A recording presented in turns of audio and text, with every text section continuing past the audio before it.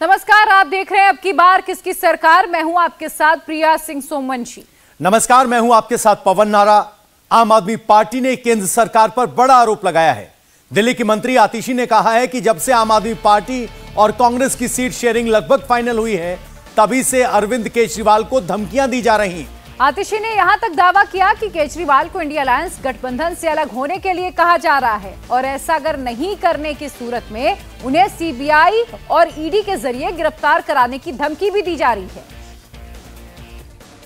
आम आदमी पार्टी के नेताओं के पास ये मैसेज आया है कि अगर आम आदमी पार्टी ने इंडिया अलायंस नहीं छोड़ी तो आने वाले दो दिनों में अरविंद केजरीवाल जी को सीबीआई का नोटिस आएगा, या सैटरडे को नोटिस आएगा, या मंडे को नोटिस आएगा।